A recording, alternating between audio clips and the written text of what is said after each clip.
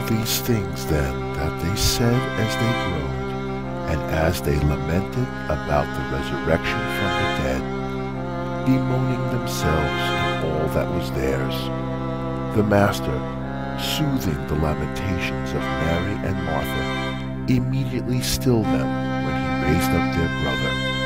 It was possible then to see the marvel of marvels, how the lifeless suddenly was seen to be alive.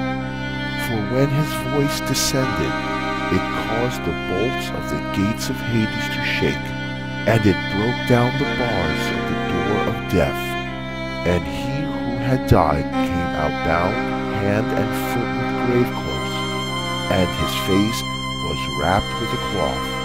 Jesus said to them,